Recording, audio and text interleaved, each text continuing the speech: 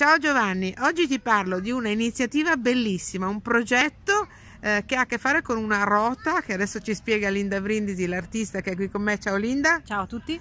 Eh, ci spieghi che cos'è questa rota e qui con me c'è anche oltre Linda eh, Maura Avagliati sì, che è una Avagliano che sono Avagliani, la dirigente Avagliano, Avagliano, Allano? Sì, che sono la dirigente dell'Istituto Cadorna. Ecco, Piacere. adesso vi spiego cos'è tutta questa storia. Allora, la rota innanzitutto è una grande pittura collettiva, vero? Sì, che si fa a terra su dei supporti circolari di carta che ho progettato ormai da più di vent'anni e che porto in giro nei musei e anche nelle piazze e faccio dipingere collaborativamente chiunque, quindi tutte le Beh, fasce d'età. Ecco appunto dai bambini piccoli alle mamme, le nonne e papà, tutti Esatto. insieme si mettono attorno a questo grande cerchio di carta che tu hai ritagliato e Esatto. li fai dipingere con che materiali dipingono? Si usano dei colori naturali, atossici eh, e è bellissimo perché ogni volta c'è un tema differente. Ecco, il tema che ultimamente avete usato di più qual è?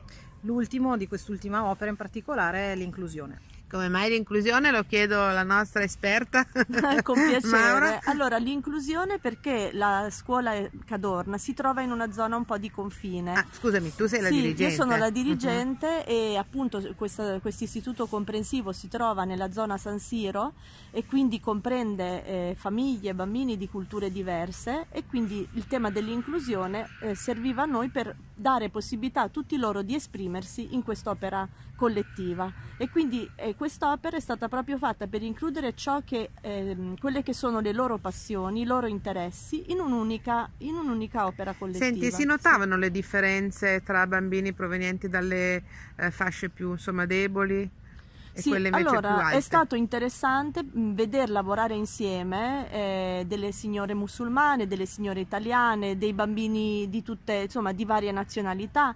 E è stato molto, molto, molto bello eh, poter vedere che erano uniti da quest'unico eh, disegno, un unico grande disegno sul quale E poi magari Sì. scoprire che le passioni sono le stesse, i desideri, i sogni possono essere gli stessi. no? Di questi- condivisi, condivisi, quindi c'ha- per noi è stata un'occasione. Ecco, quindi sì. in un quartiere di Milano che è quello di San Siro, che molti conoscono, se ne parla tanto, però Linda tu sono molti anni no, che proponi queste rote in giro per il mondo.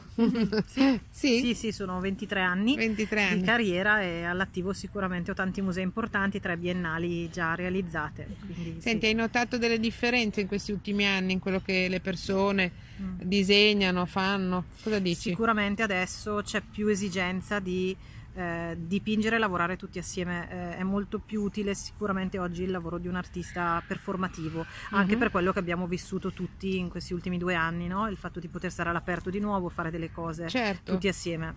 Bene, allora invitiamo i bambini naturalmente che ci stanno osservando a, Sì.